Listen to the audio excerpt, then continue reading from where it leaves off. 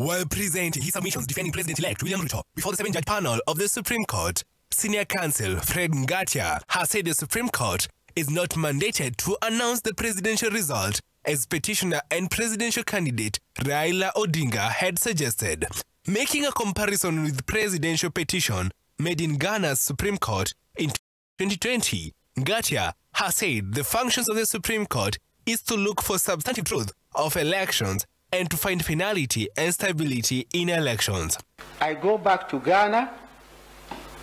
Ghana considered all the evidence that was adduced, and the Ghanaian Supreme Court came to this conclusion that the work of the court in a contest of this kind is to look for a substantive truth. I underline the words substantive truth of the elections.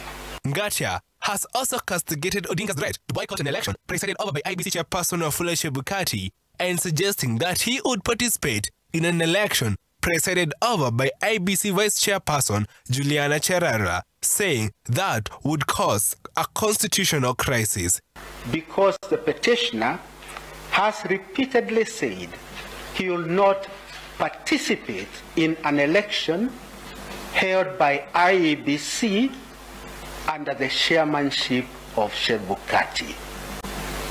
In his submission, lawyer Katwa Kigen has also defended Ruto's win, saying the election was conducted manually and only voter registration and verification was done electronically.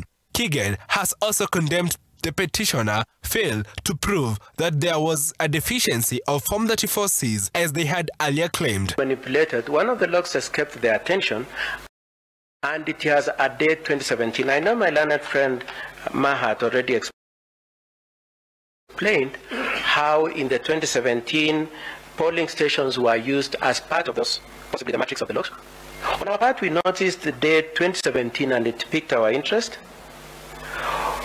When we checked, my lord, we realized that indeed the particulars of those logs or substantial parts of those logs were parts of logs that had been posted by his friend Professor Makau Mutua in 2017 and they had just been lifted and purported to be the logs that had been used in 2022.